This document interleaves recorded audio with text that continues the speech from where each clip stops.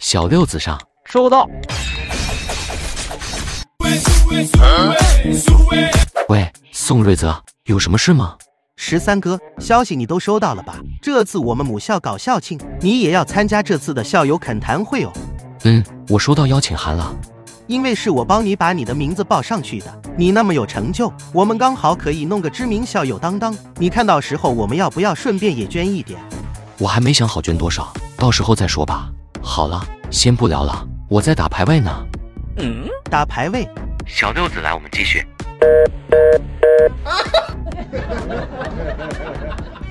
卧槽，你这个当老板可真闲啊！难道这就是有钱人朴实无华的生活吗？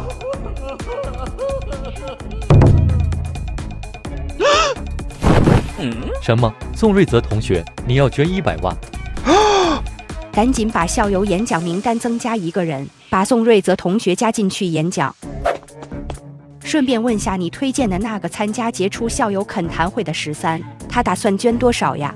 目前收到的捐款最高的才二百万而已，所以宋瑞泽这一百万真心不少了。不知道十三会不会给我们额外的惊喜？昨天听上官红说，这十三出手就花了几百万抓罪犯，还有什么一亿级别的超跑？我十三哥说还没想到捐多少，到时候看情况而定。这这就难搞了，你不说捐多少，我不好安排啊。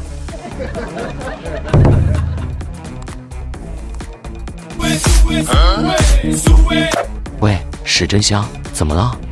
十三先生，您的云顶庄园别墅已经彻底完工，您看什么时候方便过来验收一下呢？行，我知道了，我现在过去看看。哎，看来我天生劳碌命啊。走，小六子，我们去新家看看。好的，十三先生。十三先生，您来了。嗯。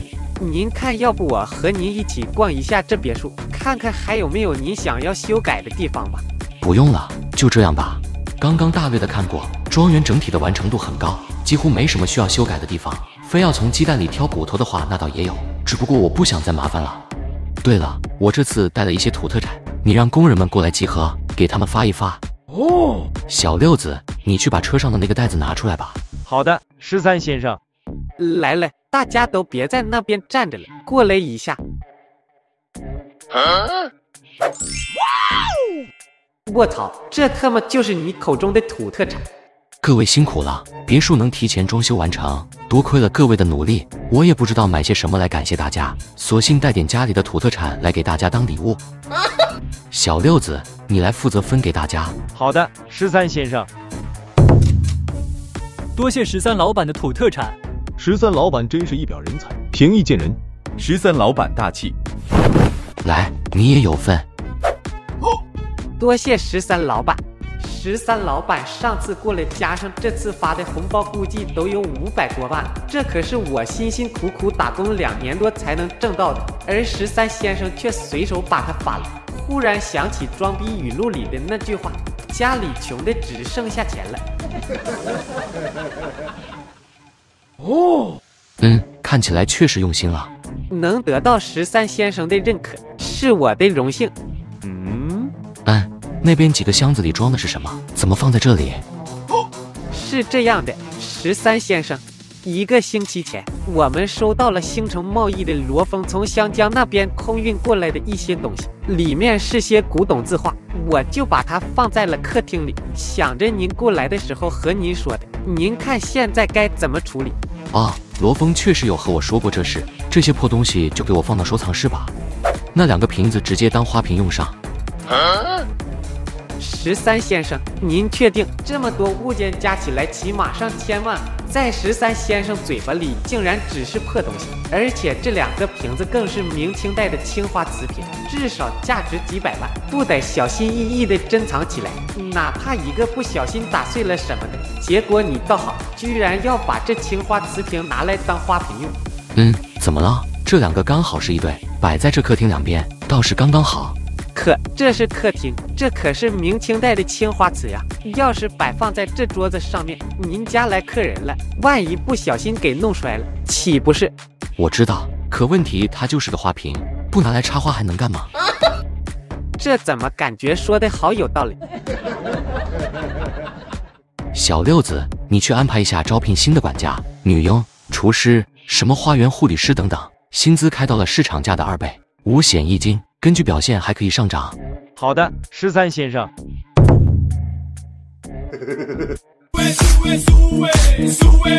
喂，慕容飞，怎么了？吉日千聚，万事如意，英签乔木，燕入高楼，恭喜十三哥乔迁。你小子怎么学人家搞这套？十三哥，今天你乔迁，要不我们聚一聚吧？可以订个酒店什么的，我带一些富二代给你捧场。这些富二代你之前也见过，都是我们群里的兄弟。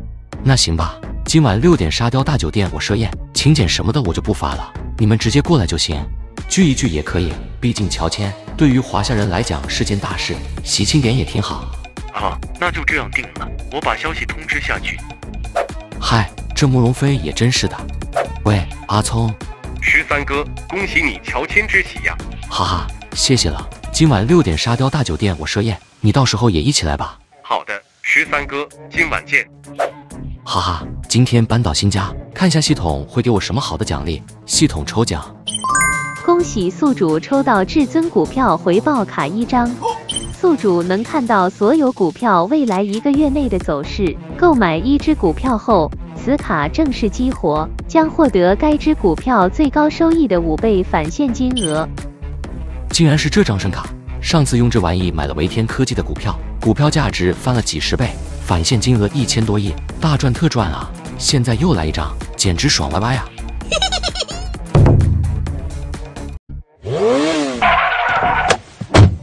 恭喜十三哥今天乔迁，十三哥恭喜恭喜！哈哈，谢谢，我们先上去吧。哦，卧槽，这什么情况？这不是王思聪、慕容飞以及那么多魔都出名的富二代吗？这个开着十几万红旗的人究竟是什么神仙级人物？这些富二代竟然对他如此马首是瞻？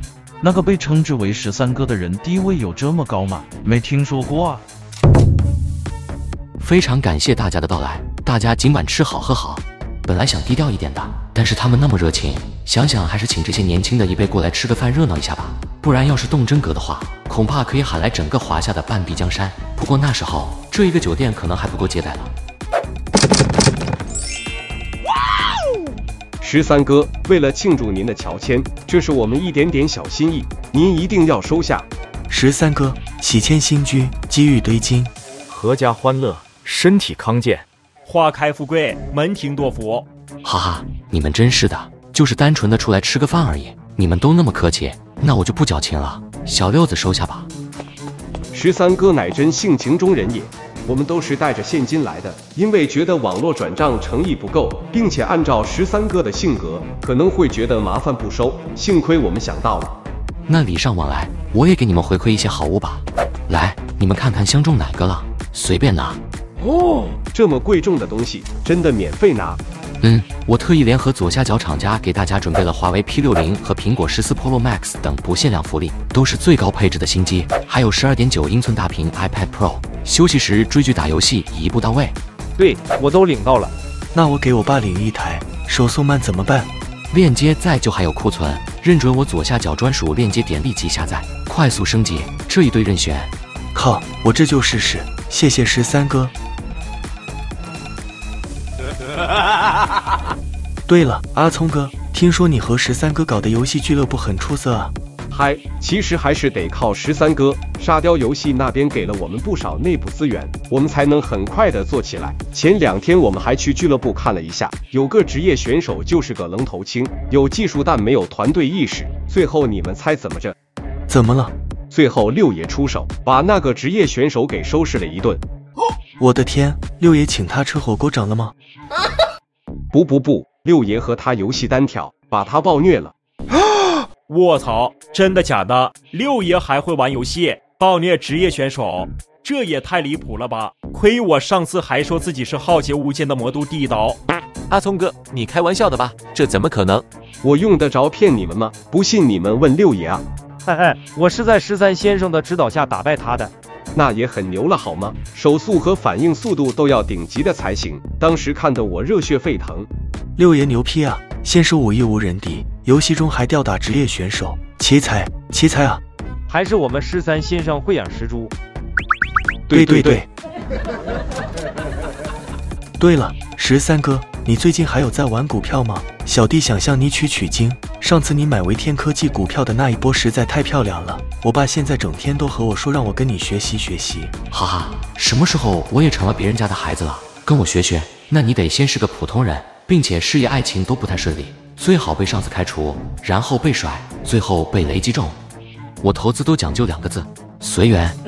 有感觉来了，我就会投着玩玩。我最佩服的就是十三先生装逼，都是装的那么自然，清新脱俗。哎哎，十三哥，那你今天有感觉吗？有的话带我们玩一下呗。是啊，十三哥，要不你带大伙们玩玩吧？我们的零花钱有时候都不知道往哪花。说起这个我就来气，听那些荐股专家的买着买呢，结果一年亏了两千多万，真是坑死我了。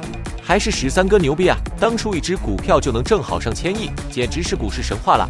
我也想买，我还想再赚一百多亿，嘿嘿。啊，我自己都对里面的规则都半知半懂的，怎么给你们讲解？等等，上午的时候好像抽到了一张至尊股票回报卡，卧槽！系统爸爸，你又要让我装起来了呀？有了这玩意，那不妥妥的股神吗？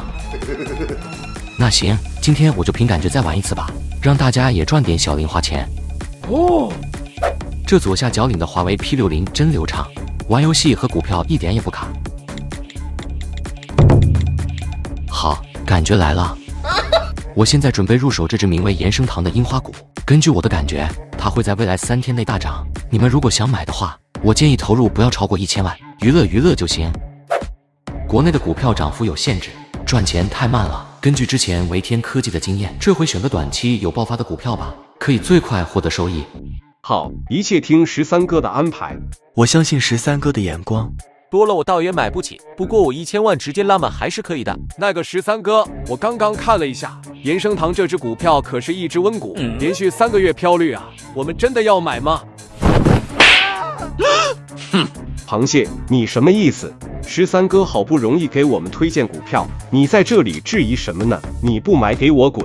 就是螃蟹。你不会说话可以当哑巴，没有人会怪你。你知不知道上次十三哥买维天科技股票的时候，大家也都说是垃圾股，可结果呢？那只股票创造了奇迹。我隐隐觉得这次十三哥绝对有手段，否则他不会买这只股。所以我现在无比信任他。要是他告诉我前面是个火坑，你跳下去，我保你不死。好的，十三哥。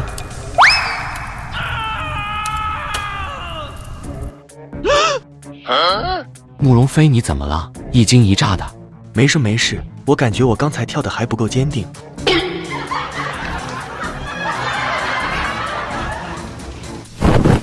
对不起，十三哥、聪哥、慕容哥，是我错了。不，你没错，有质疑是正常的。你只是帮大家提出了心中的疑虑。谢谢十三哥，谢谢十三哥。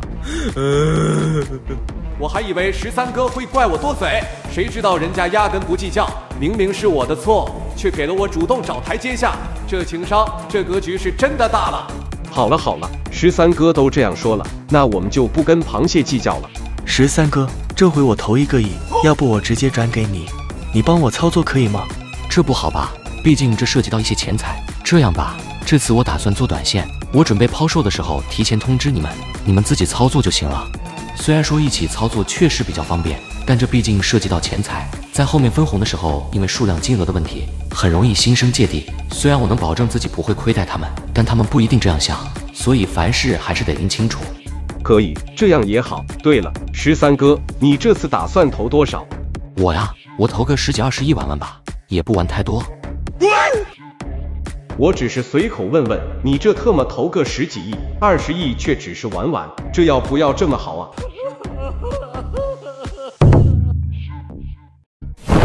十三哥慢走啊！嗯。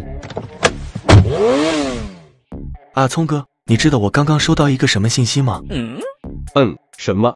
刚刚收购的时候，我让我家的管家去调查了一下这樱花国延生堂股票下跌的原因了。这股票下跌的原因是三个月前樱花国延生堂的一位高管被一家小企业的女员工指控为侵犯罪，就是这个黑料导致樱花国延生堂的股票下跌严重。这有什么奇怪的吗？这不奇怪，但是明天下午两点三十分，樱花国那边的法院将会开庭，对这起案件进行二审。而十三哥说的是，这三天内这只股票会大涨。等等，你说什么？这起樱花国研生堂的恶性案件将会明天再次开庭，而十三哥预测的是，他们的股份将会在三天内迎来大涨，这其中有着巨大的关联。或许明天这起案件将会迎来巨大反转，所以才会导致研生堂的股份回暖上涨。如果真的是这样，那么十三哥他是怎么能够提前预测到这些的？卧槽！想到这，我全身鸡皮疙瘩都起来了。现在盖棺定论或许还为时过早，但只要明天的二审结果出来，事情将会水落石出。欢迎十三先生回家。哦，十三先生简直太帅了！我之前还以为这里的主人会是个老头呢。赚了赚了，来这里做女佣实在太值了。每天看着十三先生，我都感觉赏心悦目。十三先生，我是您的新任管家苏珊。小六子。这都是你招的人，怎么全是女的？十三先生，我都是根据您的爱好招聘的呀。而且这个叫苏珊的管家，毕业于蓝翔管家学院，各项专业成绩皆是排名第一，技术一流哦。你这瓜娃子，我以后女朋友们来了，看到家里的佣人全是女的，你让我怎么活？那也不用全部是女的呀。你看那怎么还有个护士？十三先生，我是想着你生病之后有护士可以给你打针。我自从喝了系统的强化药水之后都没有生过病，好吗？十三先生，您不满意吗？那我让他们回去吧。哎，算了算了，招都招了，你以后当大总管吧。好的，十三先生，苏珊，十三先生刚喝酒了，快去给他准备醒酒茶。好的，大总管。嘿嘿，大总管，大总管，这不是。十三先生，我不要当大总管。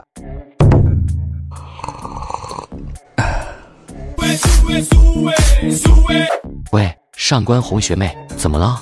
早上好，十三学长，今天是我们学校的校庆，你今天什么时候到呀？今天就是校庆了吗？啊，我差点忘了。幸亏主任叫我专门负责十三学长参加校庆前后的全部事情，不然今天十三学长没到场就尴尬了。那我现在就出发吧。好的，学长，那我在学校门口等你哦。嗯，好。小六子，走，带你回我的母校走走。好的，十三先生。哇，好漂亮啊！那女的是谁？有点眼熟，是我们学校的吗？哦，那不就是大三那个上官红吗？今天校庆换了身衣服，居然变得那么漂亮，爱了爱了。哈哈，没想到刚回到母校就遇到一个美丽动人的学妹。如果能拥有一个充满青春活力的女大学生，这次捐的二百万块也值了。呵呵，你们这些搂炮好好看，好好学，我要让你们知道，美人只配强者拥有。哈哈哈哈哈！这神经病是谁呀？说这些话什么意思啊？那么嚣张。今天校庆，学校领导邀请了一些出去很多年的校友回来参加。听说这些都是身家数千万的企业家。卧槽！你们看，这喜仔向学妹走过去了。原来想泡我们的学妹，真是老牛吃嫩草，不要脸了。嗨，小学妹你好，认识一下，我叫裴钱。你好，学长，有什么事吗？你今年大几了呀？我今年大三了。你是在等人吗？是的，学长，我在等人呢。他是马上来吗？但他很快就到。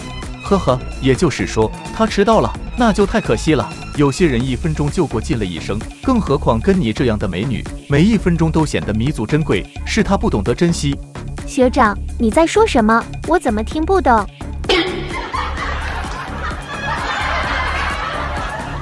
哈哈，笑死我了！就这撩妹技术。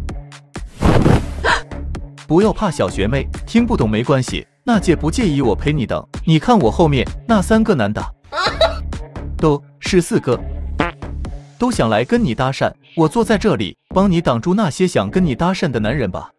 不，不用了。来，学妹，这个是我的名片。实话跟你说吧，学妹，我才刚刚回国没多久，对魔都不是很熟悉。想买一套房，大概三千万左右就行了。我那几台几千万的超跑正在托运回来，哎，托运就是慢。刚才来的时候只能开下家里的劳斯莱斯代代步。学长，请你放开我的手。同样是学长，这个学长怎么那么无耻？人家十三学长为人热心善良，有颜值有钱，但是低调不爱炫耀。而眼前这个人好讨厌，有点钱就爱装逼炫耀。这一对比，这学长简直被十三学长秒成渣了，毫无可比性。这位是我男朋友，请你不要再骚扰我了。我操！我怎么成了她男朋友了？卧槽卧槽！这不是前两天那个小学妹吗？她叫十三先生男朋友。卧槽！十三先生下手那么快的吗？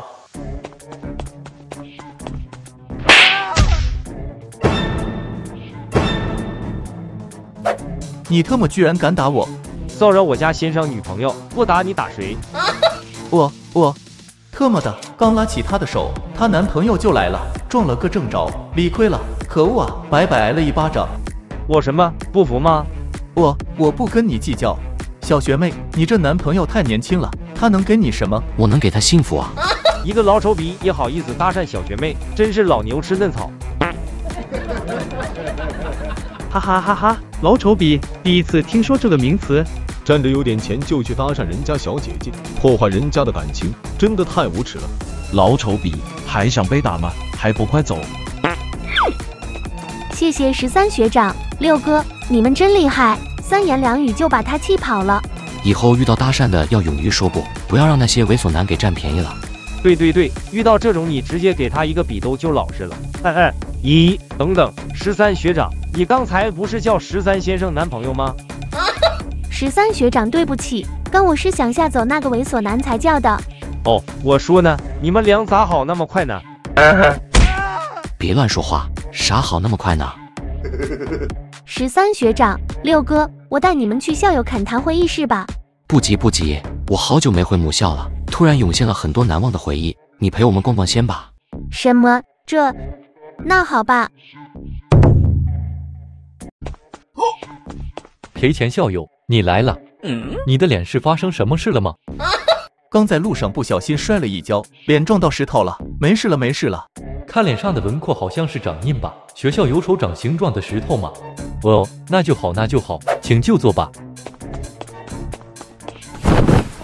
一十三哥怎么没来？杰出校友都到齐了吧？还有一个十三校友，十三没捐钱，所以可以略过了。嗯，那开会吧。哼，那个漂亮仙女妹子的男朋友就是个垃圾啊！这种地方他估计是来不了了。我可是给学校捐款了二百万的，可惜对学妹装逼不成了，还被扇了一巴掌，疼。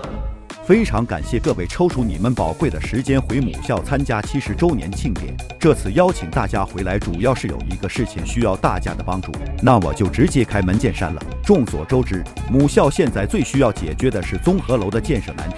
在座的各位校友都是咱们学校杰出的毕业生，你们看看有没有什么办法说服赵科集团将西北方向的那块土地评价给我们学校呢？宋瑞泽校友，这么的，怎么一上来就问我了？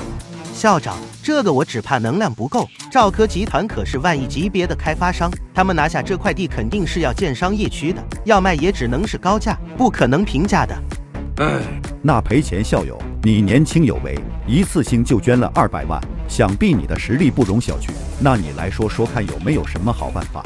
阿西吧，还没让我装逼，先打我脸是不是？谁特么有能量能说服赵科集团让出一块地啊？而且还要评价，评价人家为什么要卖你？你以为人家是做慈善机构啊？按照这个地段，起码出个三倍以上的价格才有可能卖给你。校长，你这是给我出了难题啊！我虽然和赵科集团的营销部经理有过接触，但这块寸土寸金的土地岂是区区一个部门经理就能做得了主的？所以这块地我解决不了。碍是我考虑不周了。本来若是能说服赵科集团平价卖给我们，或许我们凑凑钱，咬咬牙就买下了。可现在问题是，连一个敢于尝试的人都没有，全部都熄火了，都说没办法。你说这叫什么事啊？那这个综合楼的计划就这么泡汤了，确实是有点可惜了。这个话题就此打住吧。接下来咱们说点高兴的事吧，讨论一下校庆活动。等等，这个综合楼或许我有办法解决。不好意思啊，我刚刚被其他事耽误了一下，所以迟到了。卧槽，竟然是他！他竟然也是杰出校友！你们明明和我一起到的，还找借口说迟到，肯定是去滚草丛了，不要脸！刚刚大家都说这个是办不了，现在竟然有人大言不惭的说可以，哪来的小毛头？而且还这么年轻。我们在这讨论半天都没有结果，你一上来就说你有办法，你几个意思？打我们脸吗？十三哥，你终于来了，校长，这个就是我的同班同学十三，他的能量巨牛的，他说能解决的话，那绝对没问题。哦，十三同学，欢迎加入杰出校友恳谈会。刚你说你有办法，难道你和里面的高层很熟？嗯，还行吧。昨晚刚和慕容飞吃了个饭，还顺便喝了点酒。哦那可真是有缘啊！现在这个项目就是这赵科集团的少东家慕容飞在经手，但是他这人有点难缠。十三同学，你可能要做好心理准备啊。嗯，那你打电话给他吧，我来和他说。好。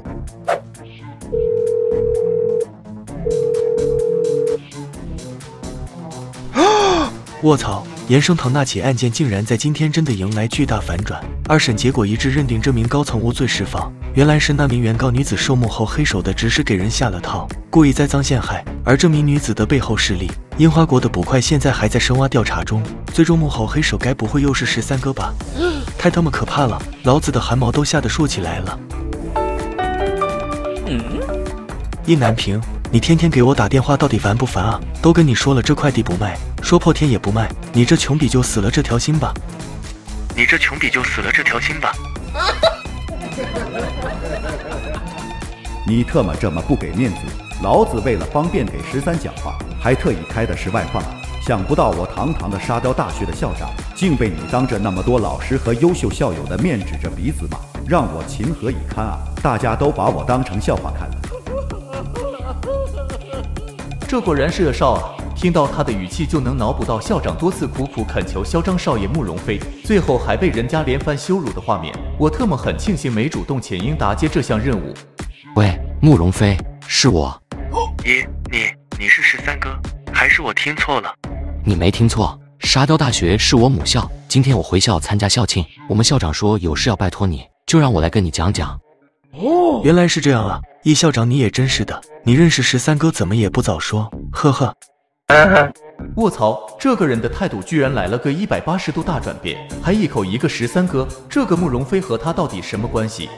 我特么还没说话呢，你就给我一顿臭骂，我有机会说吗？我感觉自己比窦娥还冤。十三哥，你们刚刚说是要杀到大学旁边的那块地，对吧？没错，就是那块地，怎么样，愿意出售吗？如果是其他人，我肯定是不会卖的。不过如果是十三哥的话，那就不一样了。您要是想要，我直接把这块地送给您都行。卧槽，这可是一块几千万的地皮啊，竟然还能直接送的。这个十三的面子有那么大吗？一个电话就能让赵科地产的少东家俯首是瞻，真他妈扎心了。我不要面子的吗？我怎么说也是沙雕大学的校长啊。我平时打给你的时候可不是这个态度的。别开玩笑。说认真的，这块地是我们学校要，你给个合适的价格就行。如果是我自己要的话，慕容飞真的会把这块地送给我，但我觉得没那个必要。既然这样的话，那这样吧，这块地一共七百八十平方，按照市场价七万一个平方来算，就是五千四百六十万。但是是十三哥您开口的，那就打个五折，两千七百三十万，再抹个零，就算做两千万行吗？十三哥，也别两千万了，就三千万吧，我也不能让你亏太多，对吧？好的。那就按照十三哥说的来，只要您开心，什么都可以的。校长，三千万，OK 吗？OK，非常 OK，谢谢十三同学，还有慕容总，这块地三千万能买下，那学校绝对是捡了大便宜了。毕竟这块地可是有价无市，能平价买下就不错了，更别说现在便宜了两千多万。你谢十三哥就好了，我和十三哥关系很铁的。那必须的。那没什么事，我就先挂了。好的，十三哥，您先忙，改天有空了我再去拜访您。嗯，我决定了，这栋综合楼就以十三同学的名字命名吧，叫十三楼。我算是看出来了，这么多逼王校友中，没有一个强得过十三的。这样的杰出校友必须给荣誉，把十三跟学校捆绑起来。十三楼，我只是签了一下线，就得到一座楼的命名权。一想到我的名字在以后的几十年。甚至几百年的时间里都在这座大学里面流传，似乎也挺给力的，哈哈，这个校长还挺上道的。是的，你没听错，校长，这地是有了，名字也有了，我想应该还缺建设资金吧？是啊，谁叫咱们学校穷啊，比不上复旦和财经有国家拨款，我们只能自力更生。建设这楼十八层，每层七百多平方，起码还要三千万。好，这三千万我出了，就当做我送给母校七十周年的生日礼物了。